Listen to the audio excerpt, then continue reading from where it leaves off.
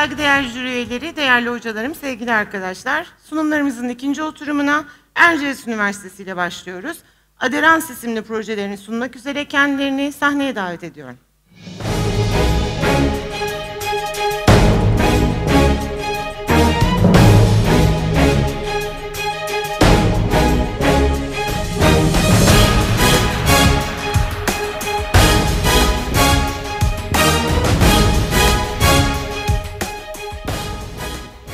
Değerli hocalarım, sevgili arkadaşlar, hepiniz sunumumuza hoş geldiniz.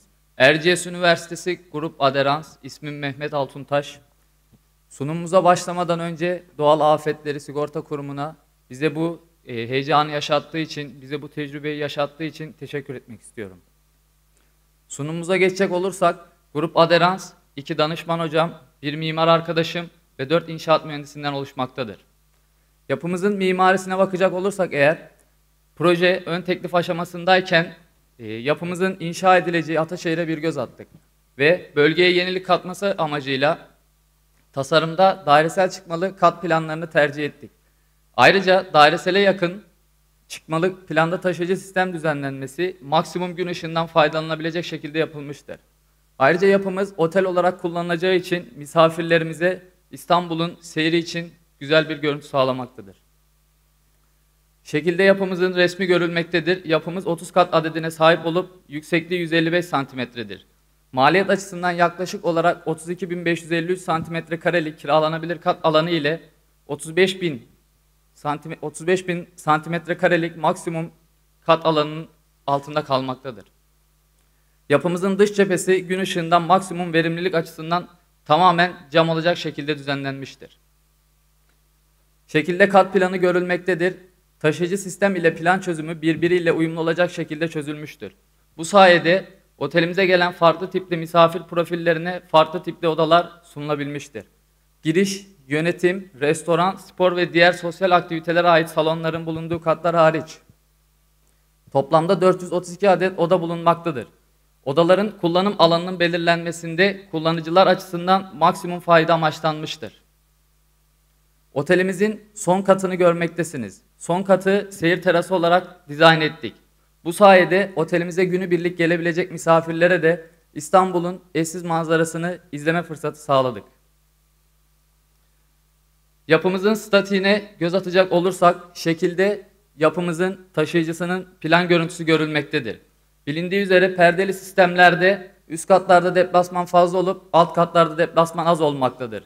Çerçeveli sistemlerde ise üst katlarda deplasman az olmaktadır. Biz yapımızın dayanıklı ve az deplasman yapmasını istediğimiz için yapımızda karma sistem kullandık. Şekilde taşıyıcı sistemimizin modeli görülmektedir. Projemiz statik açıdan simetrik bir taşıyıcı sisteme sahiptir. Yapımızın dairesele yakın kesitli ve simetrik taşıyıcı sisteme sahip olması, doğrultusu belli olmayan deprem kuvvetlerine karşı eşit tepkime verebilme avantajını ortaya çıkarmıştır. Yapımız 64 adet kolon ve 12 adet perde sistemi ile temele bağlanmıştır. Yapımızın kenar ve orta bölgelerine statik planda görüldüğü üzere teşkil edilen perdelerle vurulma etkileri minimize edilebilmiştir. Ayrıca giriş kata eklemiş olduğumuz diagonaller ile kat yüksekliği fazla olan bu kata gelen maksimum kesme kuvvetlerine karşı güvenlik artırılmıştır.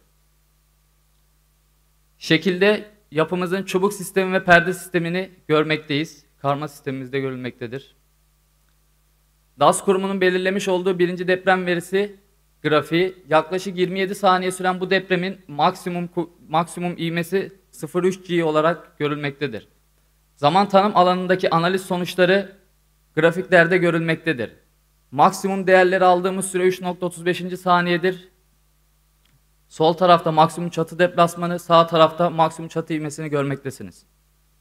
İkinci deprem verisi yaklaşık olarak 9 saniye sürmekte ve 0.8 G'lik bir maksimum ivmeye sahiptir. Üçüncü deprem verisi 30, yaklaşık olarak 32 saniye sürmekte ve 1.5 G'lik kuvvetiyle diğer depremlerden çok yüksek bir e, ivmeye sahiptir. Üçüncü deprem verisinin zaman tanım alanındaki analiz sonuçları görülmektedir. Yapımızın sırasıyla birinci, ikinci, üçüncü ve dördüncü mod şekilleri görülmektedir. Birinci modumuz X yönünde ötelenme, ikinci modumuz Y yönünde ötelenme, üçüncü modumuz burulma, dördüncü modumuz ise ötelenme olarak görülmektedir. Ekibimizin e, maket yapım aşamalarından birkaç fotoğraf, maket yapım işlemleri, ekibimizin çalışmaları, maket yapım aşamaları devam etmekte. Son rutuşlar, maketimizin son hali, ekibimizin son pozu. Erciyes Üniversitesi Grup Aderans dinlediğiniz için teşekkür ederim.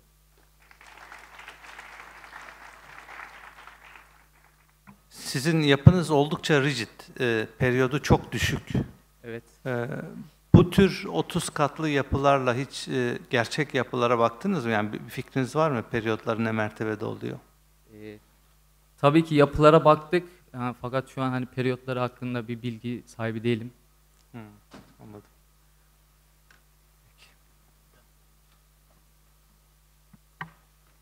Bu bazı perdeleriniz daha doğrusu e, eğilme perde, şeysiz perdeleriniz ne diyelim, bağımsız perdeleriniz, Evet.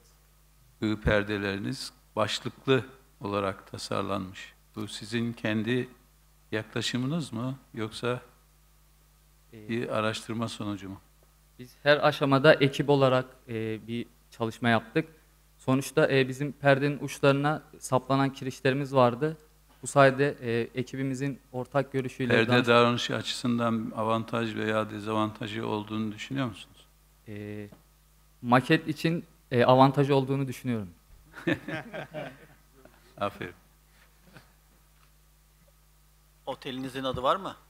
Otelimizin adı Aderans Otel.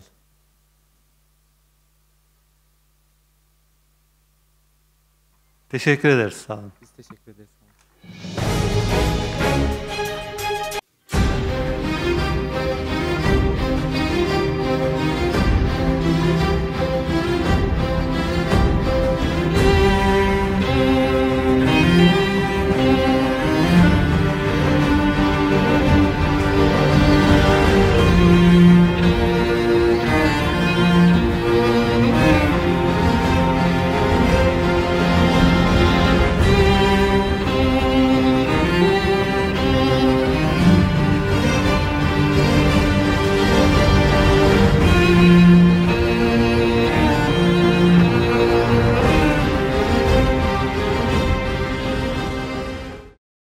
Erciyes Üniversitesi yine 30 katlı bir eee, binamız var.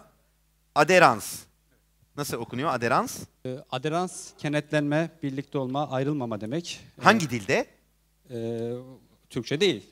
Farsça kökenli olması Farsça lazım. kökenli Evet. aderans. Evet, inşaatta... Cümle içinde kullanabilir misiniz mesela aderans? Yani aderansı biz inşaatta genelde e, demirin... ha, inşaatta var mı böyle evet bir evet. İnşa- tamam okey bu, bu bir inşaat terimi. Demirin betondan sıyrılmaması için yani oradaki bağlantıya aderans deriz. Aderans- denir. Etmek mi? Aderans etmek. Hayır, o aradaki bağlantı aderanstır.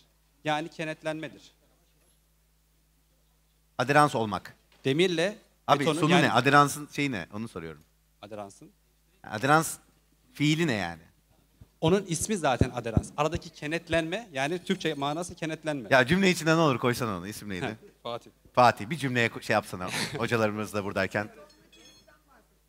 Evet betonla çelik arasındaki aderans. Beton ve çeliğin e, bir yükler sırasında birbirinden e, ayrılmaması, birbirine kenetlenmesi. Bak, onu Ha, anladım Fatih. Bana Cümle. de ki bak ben şey diye düşün beni. Ben bu işi çok iyi biliyorum diye düşün. Tamam mı? Ve bana bunu anlatacaksın ve ben de geldim. Nedir abi durum binada? Evet. İşte Evet o, abi. O, o an anlatılacak bir şey değil o. İşte o aderansın şöyle bir laf yok mu? Ee, ya işte 28. bunun katta aderansı- bunun aderansı betonla çelik yanlış. arasındaki aderansta sıkıntı yaşadık falan. Ya öyle Onu ancak e, yıkılmadan sonra, etkiden sonra görebiliriz. hep politikalar. O- anladınız değil mi hocam benim demek istediğim cümleyi? Sizin e, anlayamadınız. Peki ben bir daha anlatayım. Erciyes Üniversitesi e, binayı kırmadan beni anlayan var mı aranızda Erciyes?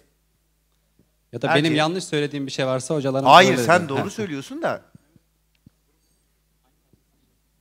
Hayır ben an- şeyi anlamak istiyorum ya. Aderansı nerede nasıl kullandığımızı. Tamamen Çünkü unutalım aderansı, e, kenetlenme diyelim. önümüzdeki senelerde kullanırım. Heh iyi aderans. Şeyi var mı mesela binanın aderansı nasıl gibi bir soru. Ha o, onu soruyorum yani. Yok olmaz. Latince adere yapışmak demek. Aderans da yapışma durumu. Türkçe'de biz onu kenetlenme diye çeviriyoruz. Evet. Yani iki, iki farklı malzemenin birbirine yapışması. Bu durumda donatıyla betonu birbirine yapışması oluyor. Çok net anladım hocam şu anda. Teşekkür ederim. Ben teşekkür ediyorum değerli açıklamanız için. Evet bizdeki o zaman bizde hani tıptaki yani Adele de oradan. Ama o da hani aynı kök ya sanki kemiklerle kaslar birbirine ade ha, Arapçadan geliyor. Anladım okey şu an her şey hazır. Daha fazla zorlamayalım çünkü. Bu arada 8 sene e, sağlık okudum ben. Ama hiç haberim yoktu bundan. Evet hazır mıyız? Hocam hadi henüz hazır değiliz. Var mı binanız hakkında anlatmak istediğiniz değişik bir şey? Bizim binamızda da şöyle bir durum var. Biz böyle bir şey yaptık. Diğerlerinden farklı böyle bir şey olduğunu düşünüyoruz. Yani biz diğer arkadaşlar gibi e, daralan ve tekrar genişleyen bir yapı yapmak istemedik. E, yapımızın rigidliğini her bölgede sabit tutmak istedik kesme kuvvetlerine karşı. E, mimari olarak da Ataşehir'i biraz inceledik. Yaklaşık 100 proje değerlendirdik bu aşamada. E, Ataşehir'de genellikle kare şeklinde e, yüksek yüzeyli, yüksek katlı yapılar var. Biz de bölgeye yenilik katması amacıyla dairesel çıkmalı bir plan tercih ettik. E, bu sayede hem maksimum gün ışığından yararlanacağız hem de maksimum kat alanından yararlanacağız. Son katımızda seyir terası olarak düşündük. Ne olarak? Seyir terası. Seyir yani terası. Otele ekstra bir e, gelir katmak amacıyla Hı hı. ticari bir alan. Çok güzel. Bu çok değerli bir açıklama. Yani Ataşehir'i inceledik de ilk defa duydum böyle bir şey. Çok mantıklıymış yani. Yapılan yerin de hani oranın da fizibilitesini yapıyor olmanız Evet. çok değerli bir puan. Biraz bastırayım üzerine ki daha da fazla puan olsun inşallah. Değil mi hocam? Yani Ataşehir'i inceliyor olmak bunu yapmadan önce bu en azından bu zihniyet önemli. Gayet önemli. Evet. Hazır mı binamız? Sarsmaya hazır. O zaman hadi arkadaşlar. Arkamıza yaslanıp izleyelim. Birinci sarsma gelsin. Buyurun.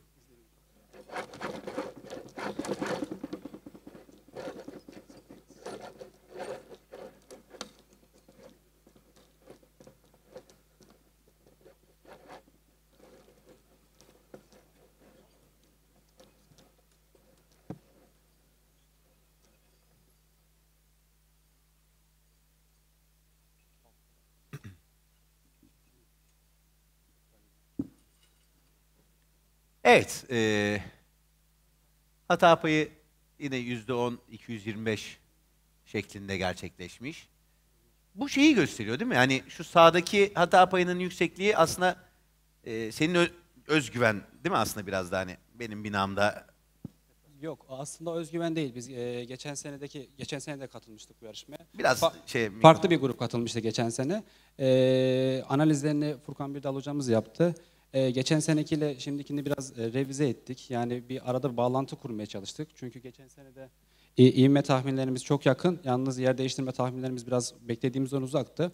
Ona göre Yine bir, öyle oldu ona göre yani. bir reze- revize ettik. E, ben da bilmiyorum artık. Yani bakacağız tabii puanlarınızı etkileyecek ama e, yani tamamen analizlere göre mi yazıyorsunuz bu tahminleri? Sizin kendi düşündüğünüz böyle takım içinde ya beyler ne olur falan hani ne gibi bir şey yapalım gibi bir tahmin yazmıyorsunuz değil mi? Tamamen bilgisayara bağlı. Evet, evet. Ha, işte orada ufak o şey yapmak lazım. O da malzemeyle alakalı büyük ihtimal. Aynen.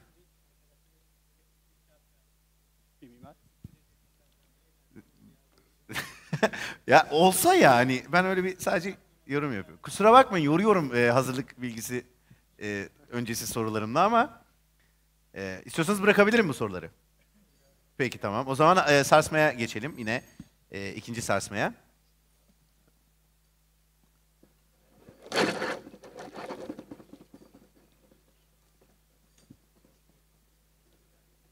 Gayet iyi. Ne diyeceksiniz Zahir? Var mı bir yorumun bununla ilgili? Üçten olur ha. Bana onu biraz şey yap. Korkumuz zaten 3'ten de 1 ve 2 zaten tahmin ettiğimiz değerlerle geldi. Ee, üçü de karşılar diye tahmin ediyoruz. Çünkü 3 kuvvetli bir tahmin ne kadar büyük bir deprem geleceğini öngörerek e, dışarıya birkaç tane ekstradan perde attık. Ve alt katını da diagonallerle desteklediğimiz için e, gelecek alt kattaki deprem kuvveti onu şey yapacak diye, minimize indirecek diye tahmin ediyoruz. Ayakta kalır diyorsun yani. Kesinlikle. Açıklamanın geneli bu yani. Tabii ki. Anladım.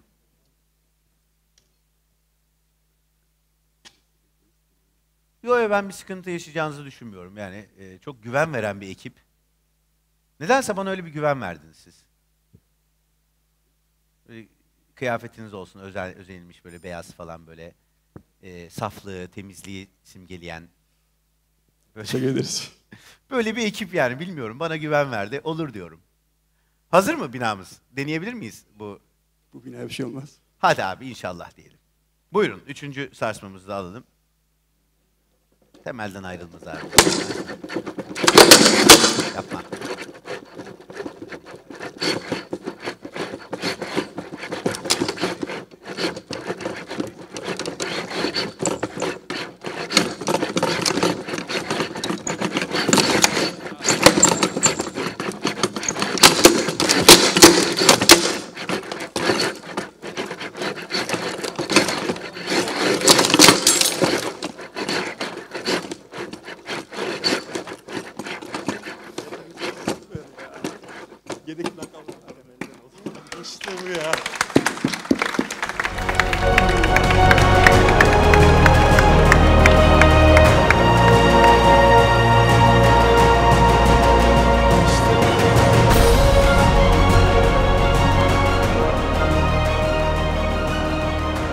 Değerlendirmeniz nasıl? Nasıl buldunuz? Arkadaşlara sordum da Beyza Hocam size daha sonra. Yani aslında e, tek risk bulu- bulduğumuz bölgeden e, bir göçme oldu mu bilmiyoruz ama hani öyle görünüyor. E, Başarılı gözüküyor hocam yani. Ne diyorsunuz? Şartname göre. Taban levhası binaya mı dahildir? Ha, okey tamam. Yani ya temel göçmesi ya zemin sıvılaşması diye değerlendireceğiz. Muhtemelen herhalde temel göçmesi. Anladım. Kusura kusura bak. Benim yorumumu söyleyebilir miyim? Ben gördüğümü yani. Hani yer yerinden oynadı ama binaya bir şey olma gibi. Evet. Evet.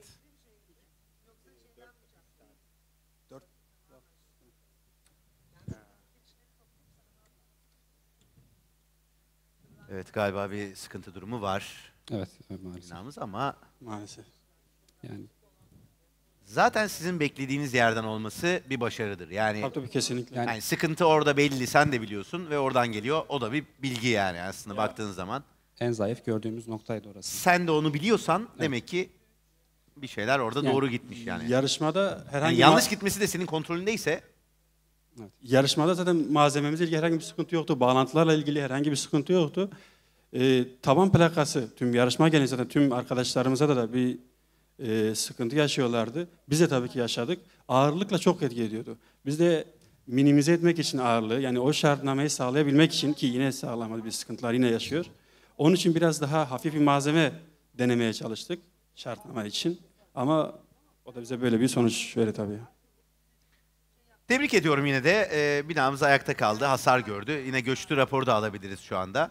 Ama sağlık olsun. Ee, bu sizin başarısız olduğunuzu göstermiyor. Yani binamız şu anda en azından hatanın nerede olduğunu bilmeniz e, çok büyük artı puan.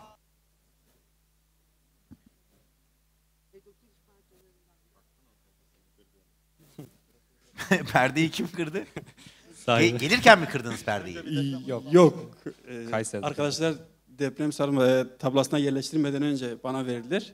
Bir sars dediler de öyle bir Sana bir sars dediler. evet. Nasıl sarstın? E, O- ko- ortada şu an. Abi o hareketi bir neyse göreceğiz daha sonra o sarsma. Yok. Sen, ya kendin sarstın kendi yöntemlerinizle. Tabii canım. Ya, espri olarak ya biz o perde var e, bir çatlak olmuş ilaki ve taban plakasına yerleştirdiğimiz esnada tutuş Ha, yanlış tutuşma. Sarsmadın yani değil mi? Yok, yok, bir an ya. inandım biliyor musun hani Yok yok hayır. evde kendi imkanlarımızca sarsıyoruz falan gibi. Tamam mıdır? Buyurun siz bir konsültasyonu e, alalım hocalarımız. Bu arada e, şu konuşmayan arkadaşlar da biraz bize bir şeyler anlatsınlar. Hem, Merhabalar önce. merhaba nasılsın? Teşekkürler. Fatih, Fatih. Fatih Mehmet. Buyur. Mikrofona doğru daha neler hissettiğini de anlatabilirsin. Valla beklediğimiz gibi geldi diyebiliriz. Ee, çünkü Evet o yüzden. hani birazcık daha sağlam olabilir diye. Peki madem bu kadar bekliyordun biraz daha sağlam Ya işte yapabildiğimiz çünkü ağırlıkları Mikrofona da, daha böyle. ağırlıkları da göz önünde bulundurmamız Ha, gerekiyordu. Tabii. Yani- Şartnameye uymak hep değil mi? Olaylar o. Müteahhite uymak. Anladım. Olsun. Bakalım e, konsültasyondan çıkacak sonuç e, ne gibi bir sonuç çıkacak? Lehimize olur inşallah. Yani. Ama mesela e, diğerlerinin aksine de şu kat ağırlıklarında hiç oynama yok mesela. Biz çok çok güveniyorduk. Oraya evet o Rigid o konuda zaten yapı. 12 perde 64 kolondan yapı rigid. Yapı. Evet. Yapı rigid yani belli. Belli yani. Baya konsültasyon ne kadar uzarsa o kadar lehinizedir. Bunu her zaman aklınızda bulunsun. Yani bir o, o sohbet o- olumsuz olsaydı çok hızlı gelirlerdi. Yani olmadı derlerdi gelirlerdi. Şu anda e, 12 kızgın adamı izlemiş miydiniz? İzleyen yok değil mi o sizin yaş olarak? Neyse. İzleyin. Çok güzel bir filmdir. İzleyen var mı aranızda? 12 kızgın adam. Evet. Onun şeyini yaşayacağız şu anda. İzliyoruz. Evet buyurun. Ee, Ufuk hocam. Üçüncü yer hareketinden sonra zemin katta 8 kolon, bir perde ve 8 kirişte hasar tespit edildi. Onun dışında ağırlıklarda herhangi bir gevşeme yok. Bu hasarlı eleman sayısı da e, göçme kriterinin altında kaldığı için göçme yoktur diyor. Dedim abi, dedim ben ya. Dedim baba. Görüyorum.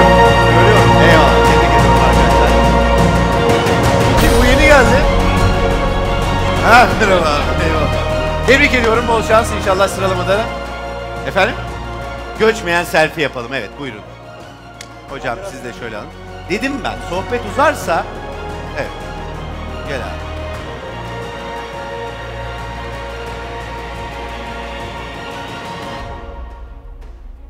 Var mı binanız hakkında söylemek istediğiniz bir şey? Murat, sen mikrofonu aldın, buyur. Çalışıyor Evet, abi o. Kocaeli'den Biraz yakın tutarsan Kocaeli'den buyurun. Kocaeli'den geliyoruz biz. Ee, 99 depremini yaşamış ve ciddi hasarlar almış. Yakın tutarsan abi söyleyeceklerini dinliyoruz. önemli. 99 Gölcük depremini yaşamış ve ciddi hasarlar almış bir şehir olan Kocaeli'mizin hani daha rigid ve daha depreme dayanıklı bir bina yapmayı tercih ettik biz yapımızda. O yüzden 25 katlı bir binamız dayanacağını düşünüyoruz. Üçüncü yer hareketinde de yani göçme olmayacağını düşünüyoruz. Tebrik ederim. Var mı sizin söylemek istediğiniz bir şey? Mine Hanım. Benim de yani temennimiz tabii geçme, göçmemesi yönünde. Göçeceğini çok da düşünmüyoruz yapımında ve analizinde. İnşallah. Yani çıkış düşüncesi, çıkış ruhu, e, özür dilerim. Murat'ın da bahsettiği gibi hani yaşamış biri olarak demek çok önemli bir kriterdi orada. Evet Ve, daha gerçekçi. e, her zaman yere o, o- oradan bir şeylere cevap veriyor olmak çok değerli. Yani bahsettiği yerden hareket etmek yani ilk adımını bile oradan atıyor olmak e, önemli. Herhalde Ya- sağlamlığa daha çok e, önem veren bir yapı olduğunda zaten yani hissediliyor gibi bahsettiğinde de. Yani. Yani biz e, aslında bakıldığında hiçbirimiz Kocaeli değiliz. Kocaeli Üniversitesi'nde okuyoruz. Fakat oradaki insanların hepsi hala depremi yaşıyor gibi. Hani depremin etkisindeler. 16 yıl Ya olmuş. o enerji sinerjiyi yaşamış biri olarak bahsediyorsun Evet. yani insanlardan aldığın Evet o enerji. insanlardan yaşadığımız üzere yani binamızda daha çok rigid bir yapı tercih ettik. Hı hı. Şimdi göreceğiz bakalım sarsmalarımızla beraber e, durumunuza bakacağız.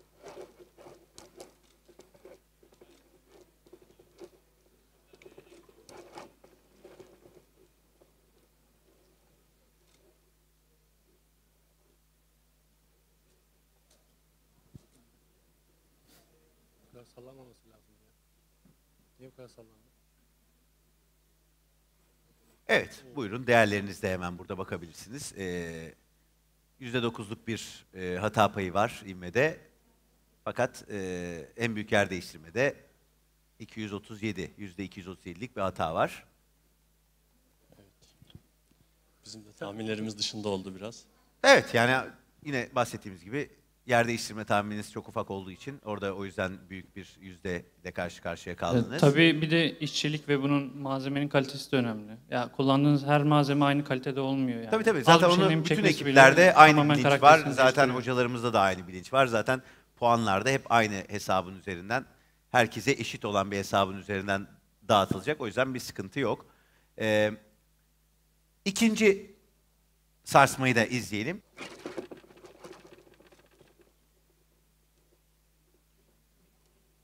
Evet. Ne diyorsunuz? Abi Olur. zaten dediğin gibi yani o e, bina o şeyini veriyor baba. Baksana bir alt gövde falan. Ya ben anlamıyorum bu işten de. Hani görünen. Not alan arkadaş. Not alabilir miyim? Hocam. Hocam işiniz mi vardı? Pardon. Not alan Pardon. hocam bir gel bak. Bir.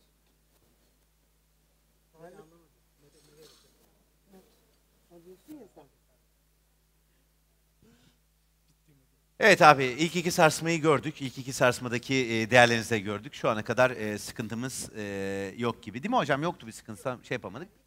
Yani şu anda bir şey yok. Hadi bakalım hep beraber üçüncü sarsmayı izleyelim. İnşallah ayakta kalsın diyelim. Evet. Üçüncü sarsma gelebilir mi?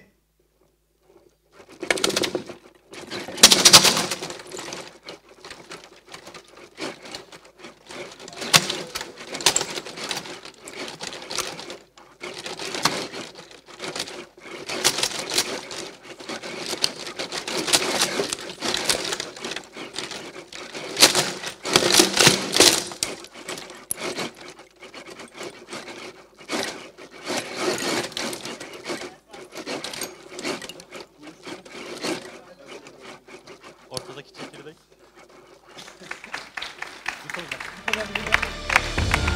kadar.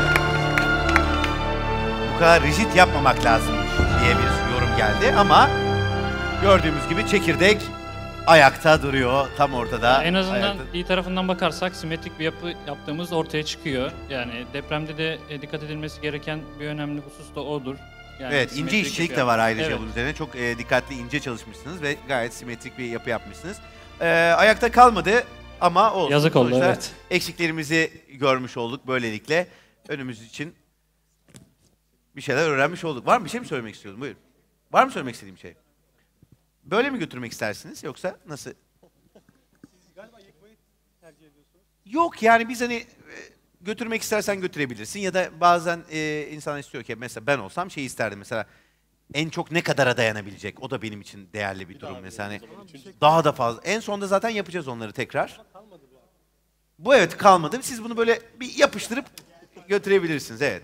Otel yelpaze diyebilir miyiz hocam buna da?